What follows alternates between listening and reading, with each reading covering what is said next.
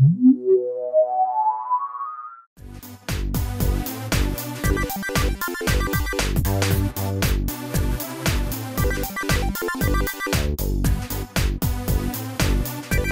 gang,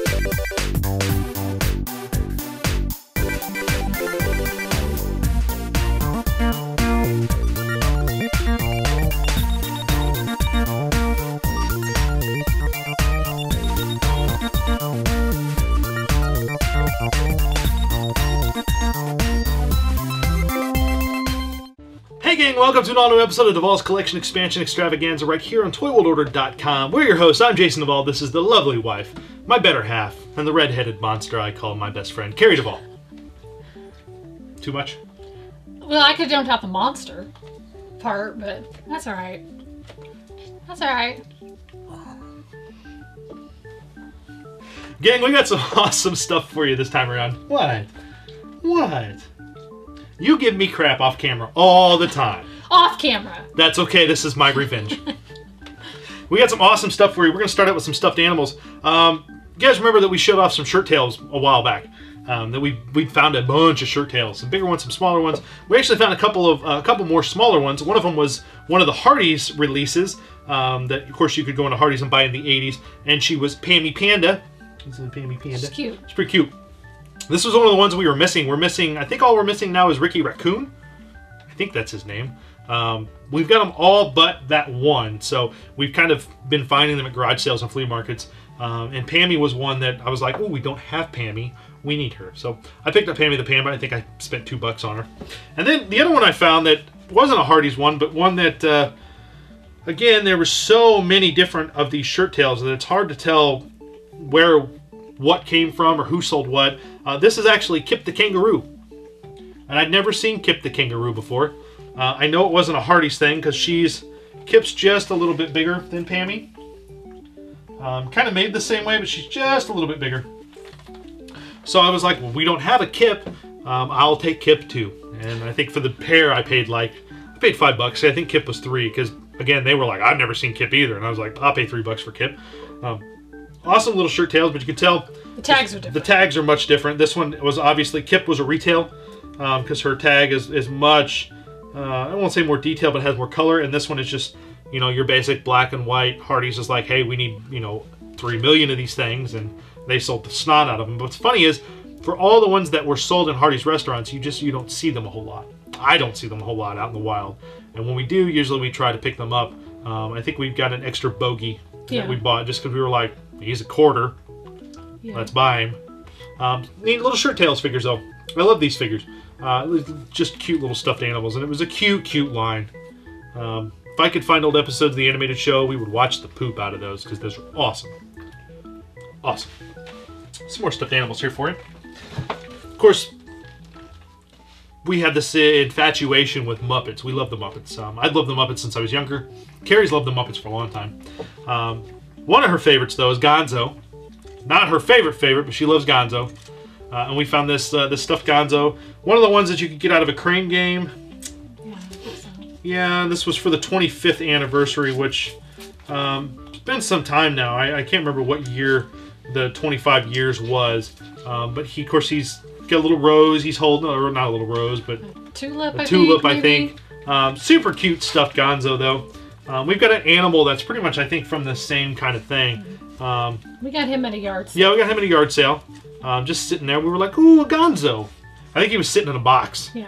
and we were like, I just think he's cute. He's all dressed up like he's Yeah. going on a date or something. "Oh, he's going on a date with Camilla." Oh, how cute!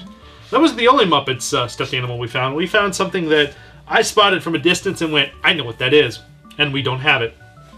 And it is this baby piggy. For those of you wondering what's so special about this baby piggy, this is a Worlds of Wonder bopper. It would uh, you put batteries in her. She doesn't work. I haven't taken her apart to fix her yet, um, just because I'm not looking forward to that because she is not put together the same as all the others are. Um, to basically say it lightly, um, I put batteries in her. She didn't work, so I'm guessing the motors are froze up, which is fine because they can be fixed. But she would uh, she would dance and move her arms every time you would she would hear sound. There's a little microphone um, somewhere, probably right here in the nose, there's a little microphone that would pick up the sound vibrations, and she would dance, and she would bop across the thing. Um, I think they made a Kermit. We haven't found Kermit, but I knew we didn't have Piggy, and she's actually one of the bigger boppers they made.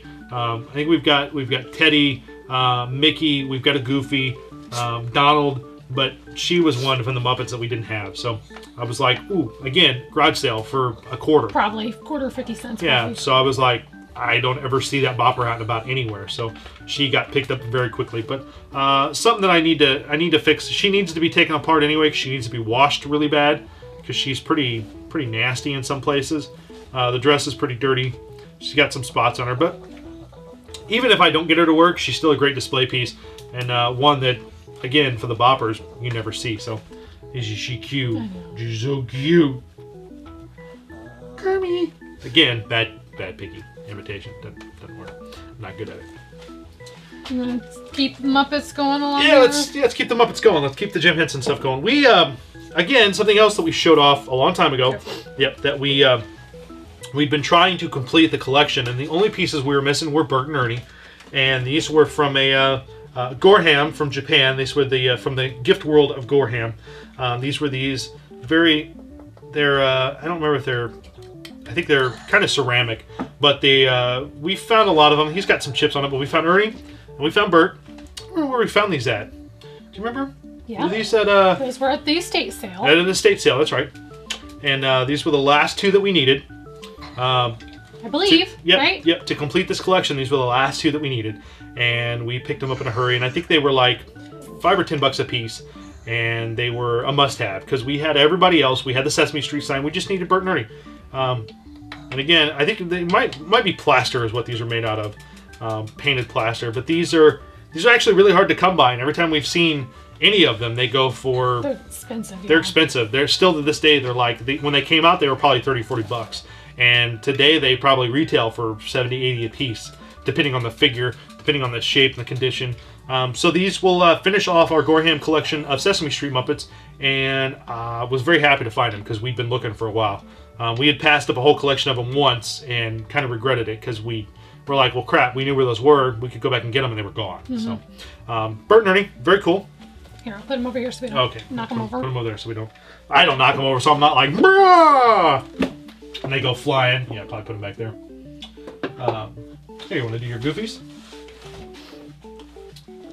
Those of you wondering, we've had to like strategically strategically put some breakable stuff other places so it doesn't fall. That's how bad it is, folks. Um, I found Carrie a couple little goofies. Actually, I think she found these in a Th- These were at um, the estate sale. these are the estate sale. This one's a little ceramic goofy with a drum. Um, not sure where it came from, but it was just one of those little gift things you could buy for like probably 10 bucks. Um, he was pretty cute and he was in nice shape. And then this awesome Goofy, which is another one of those like blown ceramic kind of pieces that are hand painted. Um, very cute. Of course, Goofy's Carrie's favorite Disney character of all time. So these were must haves for uh, Miss Devall here. Uh, she was like, I want them. I don't think we look alike. Is that your two favorite Goofy? Well, that's me blowing my gut out. I, I'm not that big. But yeah, Goofy Goofy always had a little bit of a pot belly. Um, I love Goofy stuff just as much as Carrie does. I love finding it and helping Carrie find it because she gets so excited when she finds a new Goofy item she doesn't have. Um, which her Goofy shelf uh, in her office has grown to the pat to the point where we have to buy another shelf so she can continue on her Goofy stuff because it's Yeah. overflown. Uh, but we're not really knickknacky people when it comes to our normal domicile upstairs. Usually it's just the toy cave down here where we're like shelves and stuff everywhere. Yeah. So, but that's the only place in the house that Carrie's like, I want a shelf in my office for all my goofy stuff. So that's where all the goofy stuff goes. These goes, these guys though, since they're breakable, will probably go in our case. We got a big glass case that we put these guys in. Uh, they'll probably go in there to be displayed. So very cool little items. Let's uh, look at a couple of action figure things here. Um, of course, the anyone that knows me knows that I have a real um, affection towards the little lines that just that could but just couldn't make it. One of those lines was a line from Revell, uh, who were known mostly for model kits in the '80s, and that line was a uh, a group of characters inspired by the artwork and design work of legendary sci-fi artist uh, Wayne Barlowe. Uh, and of course, the Four Horsemen Studios. Everyone, you know, familiar with toys these days, the Four Horsemen Studios are doing all new Lyos compatible figures based on this line, and that line is none other than Revell's Power Lords. Um, these are actually uh, from a, a friend of mine, Chad Plouffe. Uh, he helped me kind of finish up some collections. Um, so I got Sydot on the card, which Sydot's going to get open because I didn't have Sydot loose and complete. He's very hard to find uh, with his guns and his binocular and his vest intact. Um, it's kind of kind of tough figure to find complete, uh, inexpensive. But Chad actually helped me get get Side Out complete. And then uh, How do you say that one's name? This- There's a lot of G's in his name. this one is uh, Ggripptogg. Uh, and Ggripptogg is is loose and complete. He's got his little war hammer his there. face in the? Yep, his uh, you can turn his head because he's got two different faces. So he's got he's got his little like almost fish-like face, and then he's got uh, he's got his monstrous face here. Um, very very cool uh, looking toy. Uh, very neat line. For anyone wondering where Carrie's going, she's going to let the dogs out because much like last episode, he's crying. We're not sure why. He just wants attention. Um, Revell's Power Lords though, very very cool line.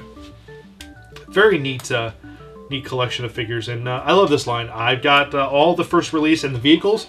Um, just don't have the playset, which Vulcan Rock for this line is stupid, stupid expensive, uh, and uh, usually quite a bit of money for that. So, very cool line. Um, got a couple more action figure things to show you.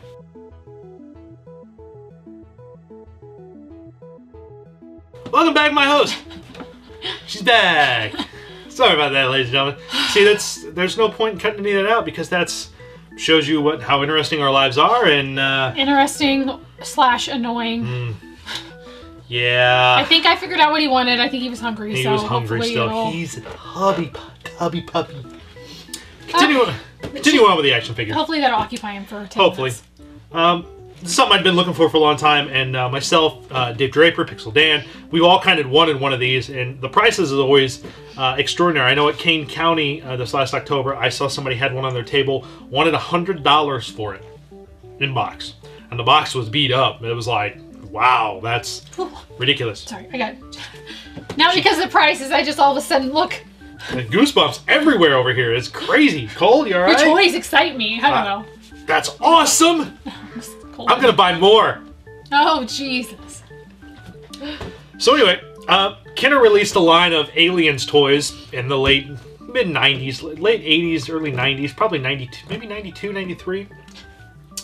Uh, and one of the things they did was a, a Queen Hive playset. And a friend of mine had one, and I remember thinking it was so cool. While uh, Carrie and I were in Volo, Illinois, at the, the car museum and antique mall, walked in there, and there was a guy that had, it was just a whole store full of toys. And he had underneath his table, he had this little beauty sitting under his table. And I asked him, how much you want for the Alien Queen Hive playset? And he looked at me and went, I don't know, I just got that lot in. Um, I don't know, how's 30 bucks sound? And I went, well, you- take my money? Because I knew how expensive they were. And this actually, again, has never been, um, never, ever, ever been, uh, been played with, been open. I mean, it's been open, but you can see the, uh, there's the, the can of ooze. Ooze. Um, Yep, still sealed. Yep, it's still sealed. All the contents here are still uh, still polybagged, and uh, there's there's our, our good friend the Alien Queen here. Um, she's pretty cool looking. Um, but all of this stuff, uh, I mean, this is just one of those places that I was like, I really, really would love to have one of these, and uh, never wanted to spend the extraordinary amount of money that people always seem to want for this toy. So it was something I was like, well, I'll, I'll wait.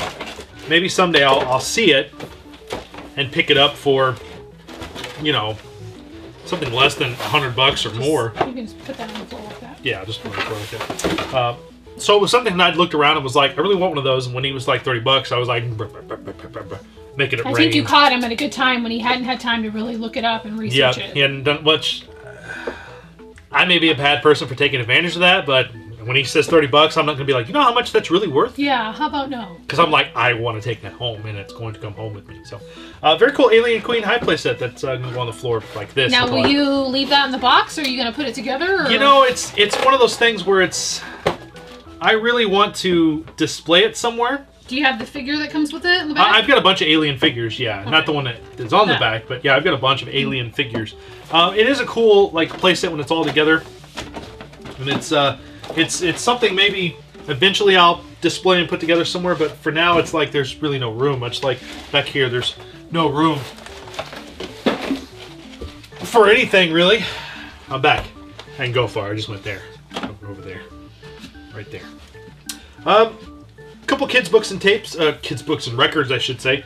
Um, a bunch of Star Wars ones actually. Uh, my buddy Fred out in uh, um, Salisbury. Salisbury, Illinois, uh, has, of course, just collection after collection after collection of these kind of books. And I found a bunch of Star Wars ones that are uh, 24 page read along uh, book and record. So I found uh, Return of the Jedi, uh, Ewoks Join the Fight. Of course, it's still got its its record in here, little little record. Um, very very fun, very cute little artwork. Lots of great uh, original artwork from Star Wars Return of the Jedi. Um, kind of telling the story of the Ewoks joining the battle and the, the, the winning the battle. And then these were actually all sealed. So uh, these are actually uh, all original. So we've got the book and record set for Star Wars, the book and record set for Empire Strikes Back, and the book and record set for Return of the Jedi. Um, all sealed, and I was like, I'm going to buy those because uh, those are too cool to pass up, especially when you've got the whole original uh, trilogy right there. So, uh, something I really, really wanted to pick those up, which is really cool. Um, again, more book and record sets. More. Yeah. More kids' books. I was told to stop buying, but I didn't. Hi. Moving on. You never listen to me, so I don't know why. That's not true. I do. Sometimes. Ow. Ow. She hit me. This is something to add to, uh, again, uh, more to my Little Mermaid collection. This is actually the, uh, you are the neediest needy dog ever. This is, uh, smell that some more there? This was the uh, collector's edition Ursula doll. This was brought out from Mattel in 97. Um, I actually have the Ariel, who's the companion piece of this that came out first. Uh, beautiful doll, same kind of thing. Had these uh, open tops here that flapped open. Kind of a 3D environment to show off the doll more. Um, she is an awesome, awesome doll. Um, just a beautiful, beautiful creation. These were like, when they came out, they were like 50 or 60 bucks. Um, I bought my Ariel on clearance uh, at Jack's. If anyone remembers the, the company and store Jack's. Bought it at Jack's when it was on clearance for like $15. Uh, and this actually came uh, from a friend of uh, Dave Draper's girlfriend, Cherry. Uh, she was getting rid of this, and Dave actually picked this up for me because he's like, I know somebody who would want that because it was something I didn't have. But a uh, very beautiful doll of a very classic Disney villain to one of my favorite all-time movies. So while it's not Ariel specific, it's still going to go in the Little Mermaid display because I want the two dolls standing side by side. Um, just very very cool limited edition doll. Uh, Mattel did a number of these. At one point, Mattel was going to do a whole run of dolls like this that were just villains, and they did Captain Hook, and then they never did anything else. Mm, They should have done more because these are really nice. Yeah, they're very cool. Very cool collector dolls. And uh, you know, I get a lot of get get a lot of crap for being the doll guy. Uh, well, technically, I really don't have a lot of dolls per se. Uh, but th- this kind of stuff, though, I, I will grab and scoop up and be like, I'm taking it home. So, uh, very cool for them to, to for Dave to, to pick this up for me, and so I can add it to my collection. It's just a little dusty, should get cleaned up and put up on the shelf. So, very cool. Let's uh, let's move on to uh, a few board games. and We'll wrap this episode up.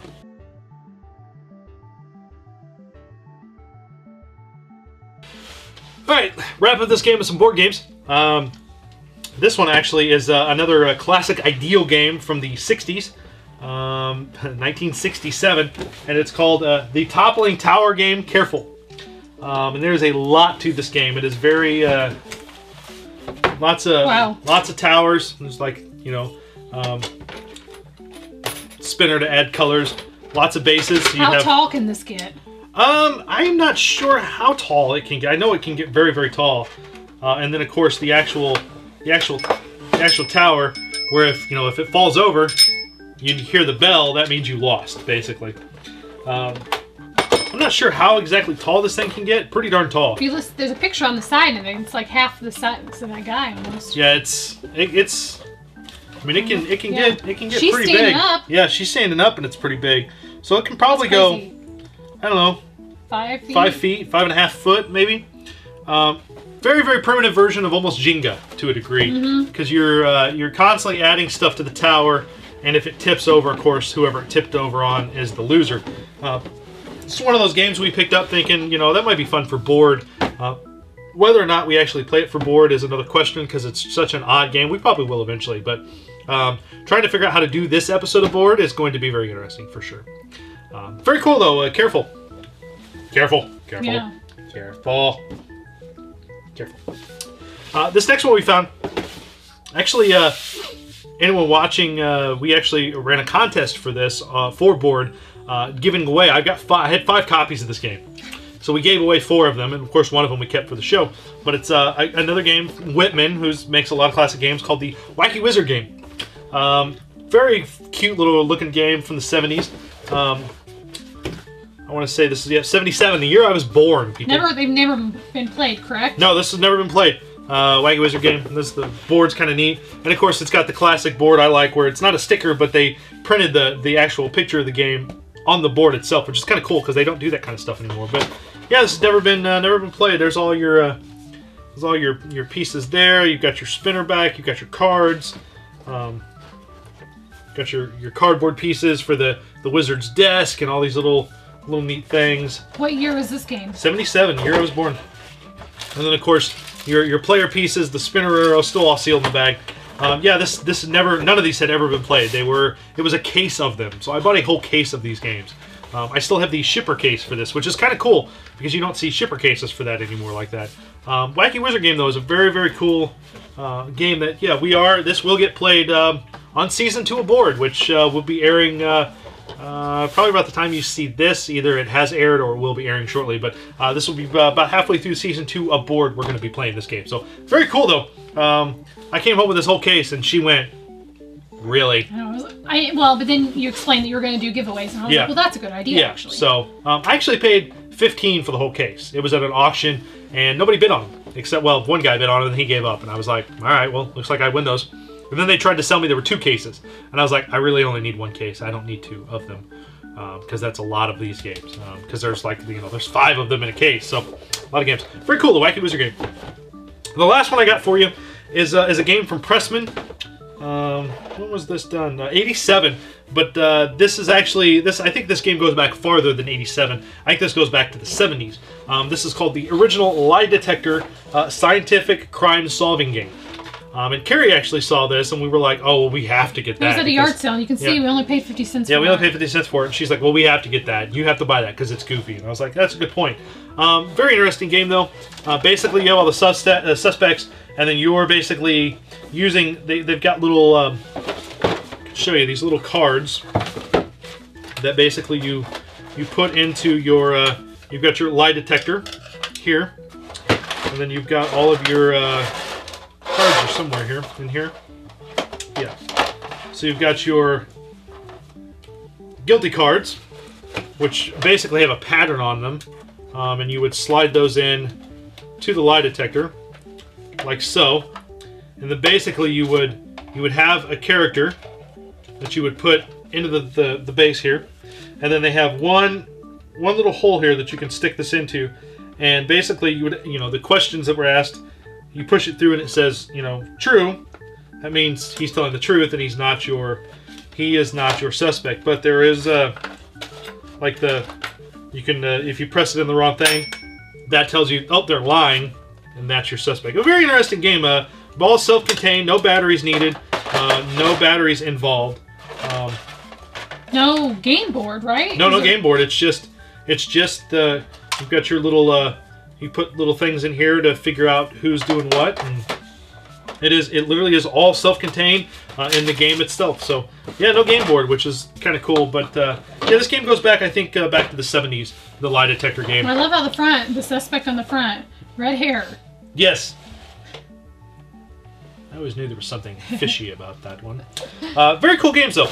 Uh, I look forward to playing, uh, showing you guys these on board uh, and playing them. Of course, Carrie and I will play them eventually as well, we, since we do play every game. Um, so, very cool games. Uh, that'll wrap up this episode of Collection Expansion Extravaganza right here on ToyWorldOrder.com. Uh, make sure if you're watching this on the website, go to YouTube.com uh, forward slash Toy World Order and subscribe to us. It helps us out greatly. Uh, make sure you follow us on Twitter. You can follow me at Puppet Devall. You can follow the redheaded one here at Mrs. Devall. Chase doesn't have a Twitter yet. So that may change because uh, he's become uh, quite I the know little he's diva. making quite the little cameo on the show. Yep, two episodes now in a row. This dog, this dog, love him. Man, is he an attention hound. He's a mama's boy. Aw. There you go, gang. That'll wrap us up for this time. So uh, take care and remember uh, something I haven't said in a while. Keep digging because uh, never know what you're gonna find. Take care.